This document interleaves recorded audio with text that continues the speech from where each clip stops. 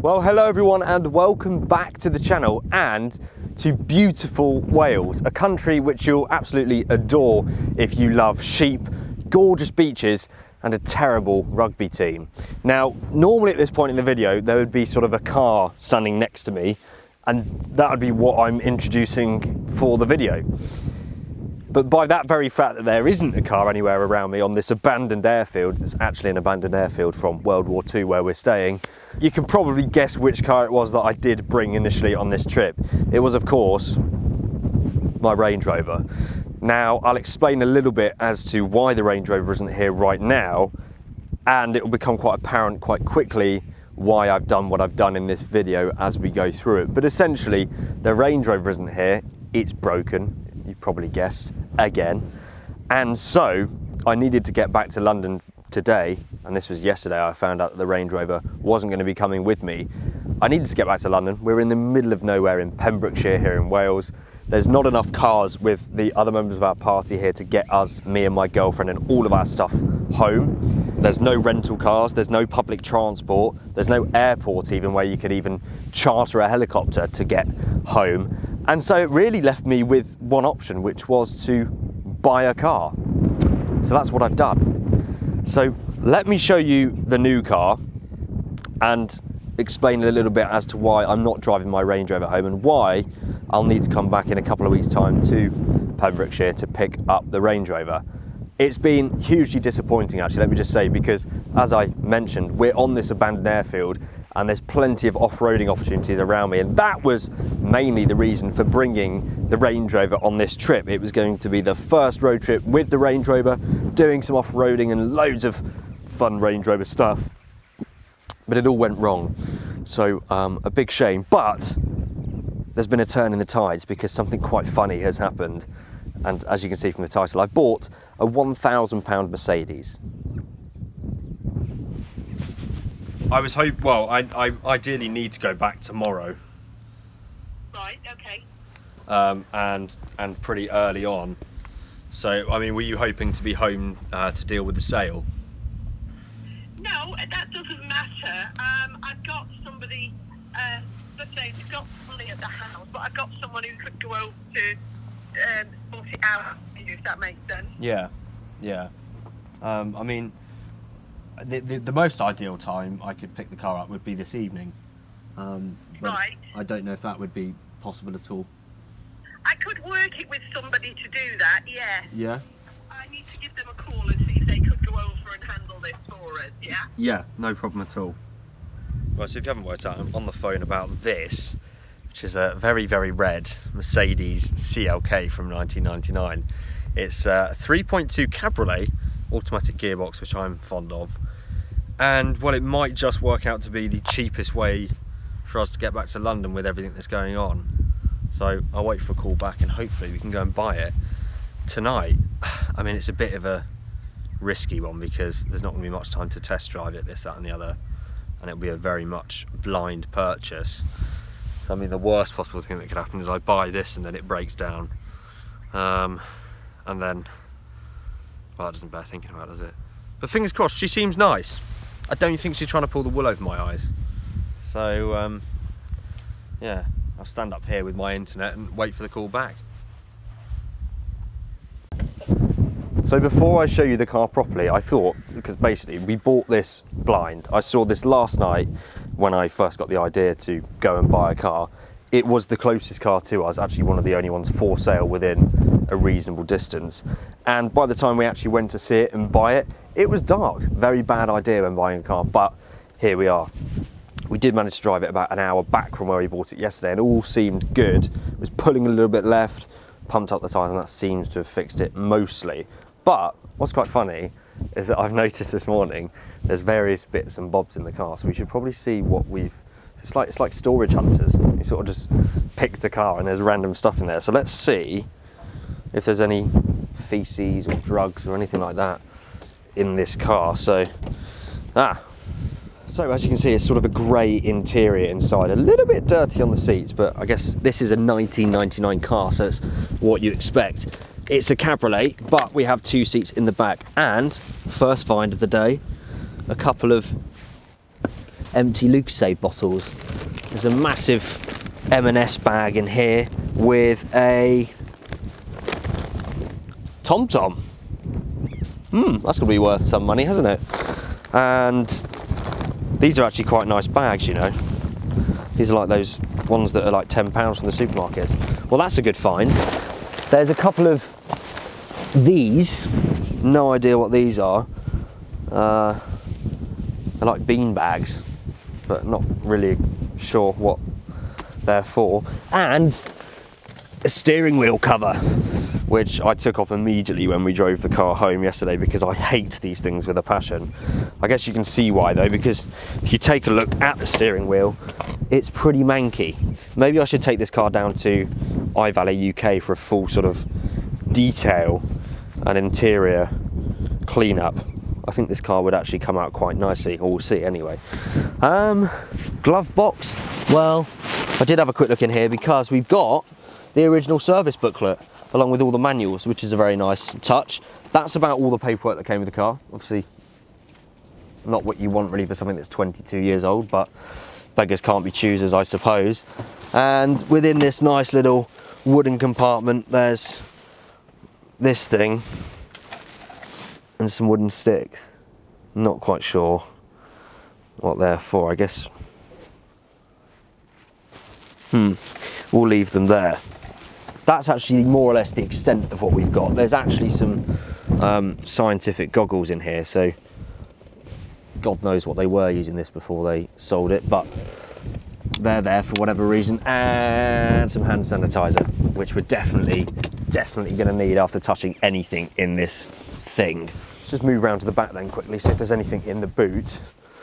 Um, uh, nothing on top, but there's a cool sort of under compartment here, and actually a way you can just clip it in like that.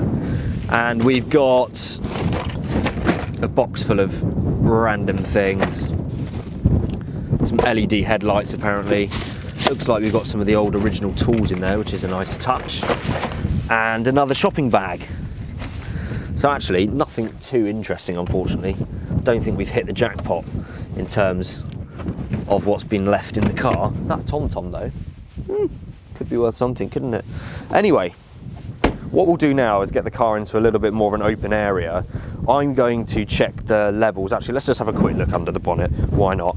This is a CLK 320, which, oh, I don't know how you pop the bonnet. Hmm, how do you pop the bonnet on this thing? I have no idea. Ah, there we go. CLK 320, which means it has an almighty 3.2 litre V6. And I have to say, it looks pretty clean. Uh, obviously, we're just looking at the engine cover here, but everything seems to be in the right place, which is fantastic. I looked under here to check for any sort of gunk or anything that looks like old chewing gum or certain male fluid. If you see that, you don't want to buy the car, but it all looks pretty clean. I need to check the oil level before we set off on our 300 mile journey today. Brake fluid, that's going to be very important to check for a specific reason that I haven't explained just yet. Coolant looks good. We've got some windscreen washer. And actually, I noticed, quite interestingly, I don't like this, but there's only one windscreen wiper on this thing. So it just goes across like a bus. So, yeah, this is the beautiful red Mercedes, which we're hopefully going to be getting back to the London area today without a hitch. But, uh, well, I think I'm quite happy with it initially.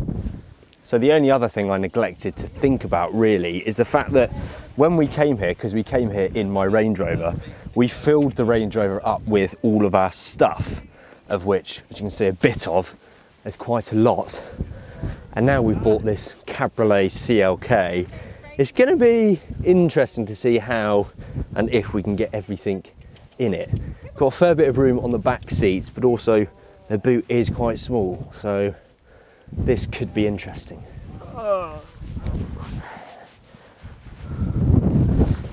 Try and see how much we can get in the back of here.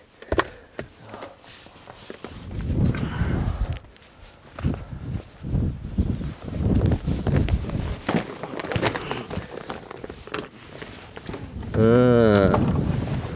Uh-huh.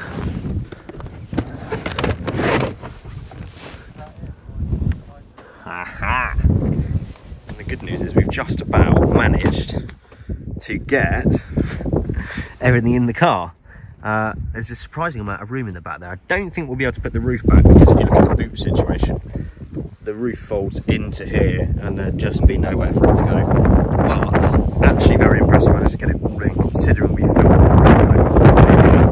So yeah, happy days. Who would have thought? I the same amount of stuff these as a Range Rover. So just on a quick check, we've got brake fluid, which is good. Coolant is uh, almost at the top, so that's fantastic. Got about half a dipstick of oil, so that should be fine for today. And some windscreen washer too, which is all good. Right, well, here's the car in all of its glory. It's a T-Reg CLK 320 Cabriolet from 1999 in a sort of deep, almost, is it burgundy red, I suppose? There is a name for it, but I can't remember, and I don't really know. It's on 18 inch AMG alloys, and that's about all I know. 3.2 litre V6, 220 odd horsepower, something like that. It does pull quite nicely, to be fair. But obviously that's not the reason I bought the car. I didn't buy this car because I, I wanted it. We literally just need to get home today. So I genuinely paid exactly £1,000 for this car. So it is literally buying a £1,000 car to drive back to England today. So fingers crossed, all goes well. The engine seems to be running okay. The battery had a little bit of trouble, well the engine had a little bit of trouble starting yesterday because the battery was very dead, but I think it just hadn't been used for a little while. Paintwork, obviously, cosmetically, it's just not great, but maybe we'll take this to iValet before I get rid of it, because the plan will be to get rid of this pretty soon, I think. I, I just don't need four cars, which I've got right now. And it seems pretty quiet inside, no rattles, no knocks, a little bit of a pull to the left, and I think a bit of a slow puncture on the front left tyre but we've got a way of pumping up tyres today, so it shouldn't be too much of an issue. And yeah, I'm quite happy with it.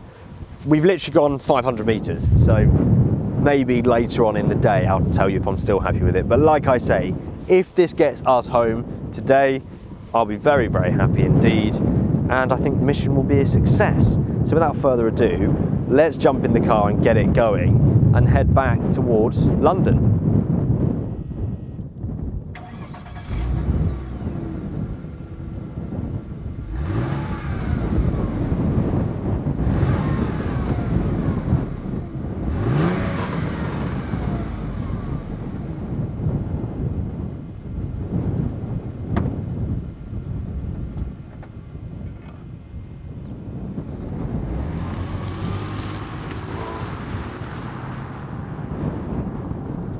Right, so we're here in the CLK on our way, just leaving the lovely sort of seaside, sleepy village of Dale, where we've just had a bit of lunch and I've insured and taxed the car for the week. So we're all good. Well, you can't tax the car for a week, you have to pay for the whole month. But we're all good, and we are finally on the way. We've got to stop off about an hour and a half away on our journey home today, so that'll be a great indicator of if the car's going to make it or not, which really is all I care about. But I realise I haven't really explained too much about what went on with the Range Rover. In short, essentially, the brake lines completely failed. The rear right one was actually the one that completely split open, and the rear left was also pretty much at that stage anyway. So it went in to have that uh, sorted because essentially I lost all braking. It was very, very scary. I had to rush to get some brake fluid because I suspected that was the issue. Top that up, managed to limp it home and then to the garage with that method. However, obviously it was something that I couldn't drive the car home with. And so it went into the garage on Wednesday. Today is Saturday, the day that we're leaving, and it was supposed to be finished yesterday. However, the brake line part arrived yesterday morning and it was the incorrect part. So Unfortunately, it means they're not getting the part till Monday. The garage isn't open here on a Saturday. So the part doesn't arrive till Monday, which left me in this predicament. Anyway, there's a short clip of me driving the Range Rover when we had this issue. So take a look at that. Okay, so this road trip hasn't exactly gone to plan so far. The car has had a big problem. What a surprise. I was genuinely very confident going into this trip that it would be completely pain-free with this car. However, on literally the drive over here, there was some horrible, horrible wheel wobble on the motorway and above sort of 60 miles per hour. And today, uh, the brakes stopped working. And once parked up, we noticed a nice big puddle under the rear white, white rear right wheel. And uh, brake fluid loss. There's obviously something's gone wrong there. And lo and behold, the brake fluid warning came on and every other warning light under the sun. And so we've limped it over to our Halfords, bought some DOT 4 brake fluid, which is what this car takes, topped it up, and I've called a garage to come and have a look at the car tomorrow morning where I'm going to take it over to their Land Rover specialist, which is luckily only about 12 miles away. However, I have to say right now, at least, there is some brake feel left.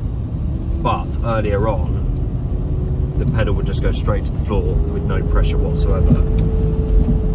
So I think topping the brake fluid up tonight and tomorrow will get me over to the garage where hopefully we can get it fixed. But I thought I wasn't going to see another garage for at least a few months with this car and I could just enjoy it. Also, I don't know if you can hear at all, pick it up on this camera, but there's various knocks coming from under the car, which I thought was suspension, but it must be something else because all the control arms have just been replaced and the ball joints. And on the drive over here the other day, they had gone, those knocks, but now they're back. And to top it all off, the car now won't go out of second gear. So I'm a little bit off, as you can probably see from my face, which is a shame, a real shame, because I wanted to make a video that was entirely positive and happy about this Range Rover because I have been looking so forward to taking it on its first road trip and just enjoying the car. I've not felt like I've been able to do that in the five or six months that I've owned it. And yeah, I've enjoyed it the past few days around these country roads under 60 miles an hour where I haven't noticed the wheel wobble. But then the suspension knocks came back yesterday, as you can hear now, literally all the time gearbox is playing games and obviously I have no brakes. So it's going into a garage tomorrow, potentially, well, at least for the whole day. And uh, yeah, it's not exactly the video I wanted to make with this car. Nonetheless, fingers crossed I can get everything looked at tomorrow, hopefully get it sorted, and in the last few days of this trip we can enjoy the car. But uh, I'm actually at the point where I'm I love this car, but is, is it worth owning it? And in response to one of the last videos uh, with this car where lots of stuff got repaired, people said, well, you know, you've you spent so much on the car repairing it, you should have just bought a better one. But I do wonder where, if I spent seven or eight thousand pounds on a much nicer example, am I just going to encounter some of these similar issues again? Because they are common problems. I would imagine this brake line issue is probably rust. So if I bought a slightly newer one in a few years time, I'm probably gonna have the same issue. I don't know. But all I do know is I'm not a happy bunny right now. And that's a real shame because I like to be a happy bunny. And I just want to enjoy this car because I love it so much and I think it's great. But it's doing everything in its power to try and sabotage that right now. Anyway, you'll see me again next time. Hopefully bit more positive about everything providing that we can get stuff fixed fairly pain-free tomorrow. But yeah, I'm just going to enjoy second gear for the rest of this drive because that's all I've got. But so far all I can say is I'm enjoying driving this at the slow speeds that we are. I'm apprehensive to get this up to motorway speed to see well, if we notice any other issues with it when we're going a bit faster. But for now, at least at around 30 miles an hour, it's very quiet. Gearbox is smooth, the engine is smooth. The air conditioning, I think it's working. I'm not really too sure, but it's not too hot in here anyway. We've got this weird parking brake thing on these old Mercedes where I've got a big pedal up here on the left-hand side where I have to literally extend my leg like that to get to, and that's the parking brake, so that's quite quirky. Also, an electric button here which moves the rear headrest up and down. I love that. We've got that, but we don't have heated seats. So I think I'd rather the heated seats, but you know, beggars can't be choosers. We do also have cruise control and a speed limiter in this car, which is perfect for today as we're going to be covering about 270 miles largely on motorways, or at least hopefully we're going to be covering 270 miles. We may end up at the side of one of them, but let's just hope that's not going to happen. So, nursing the car out of these windy parts of Wales now, we'll find some more major roads. He, wow, didn't want to move over, did he? Get this on some more major roads and see hopefully that everything is still fine. But so far, so good. Wish us luck.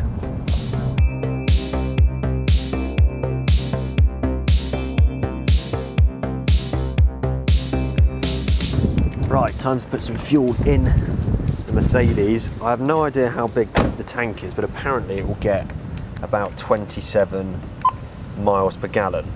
So I think if we fill it up 266 miles, we should definitely get home on it. I'd imagine it's about a 50 or 60 litre tank, but we'll, we'll see, won't we? I'm going to put super unleaded in because I don't know if this will take E10 fuel, so we'll just be safe.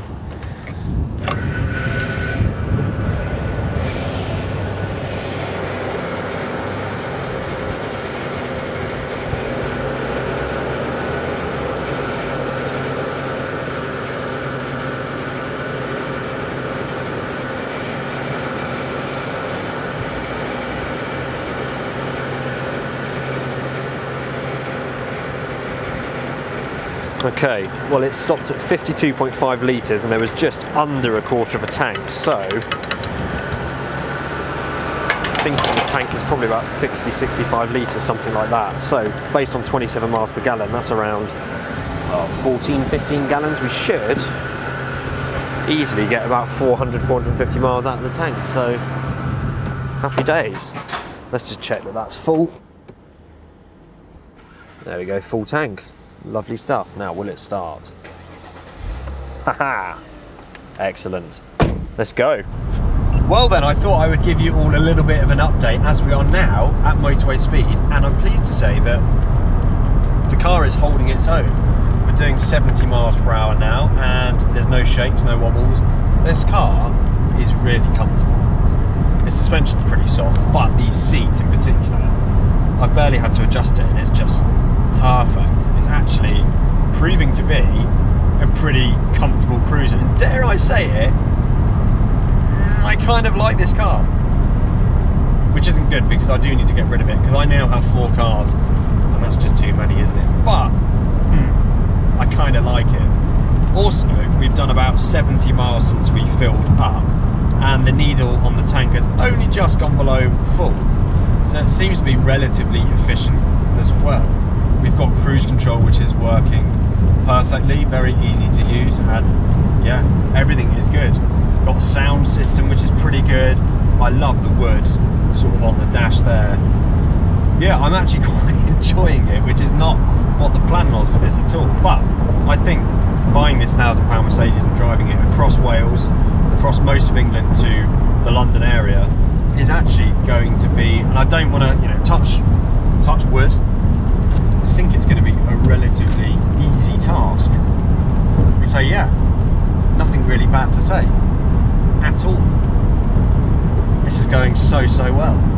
And I'm actually having a quite good time.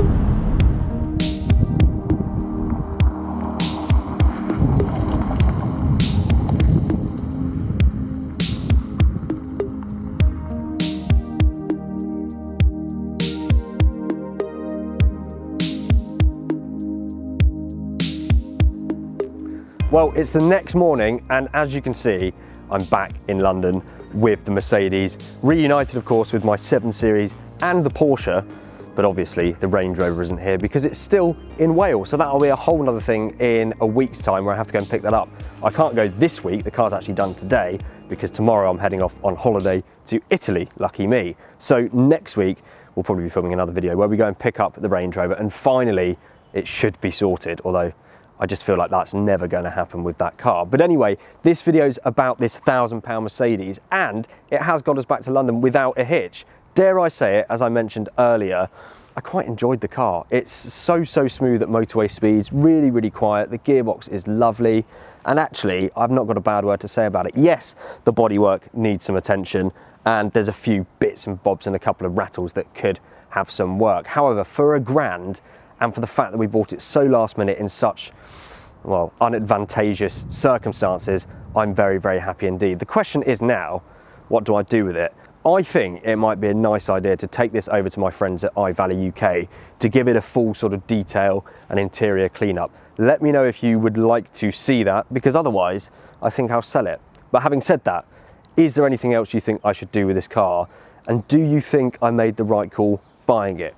I'd love to know your thoughts, so do leave a comment below. Make sure to give this video a thumbs up, of course, if you haven't already, and subscribe if you're one of my 80% of viewers that have not done so. Anyway, thank you so, so much for watching this video. I hope you've enjoyed it, and I'll see you all very, very soon.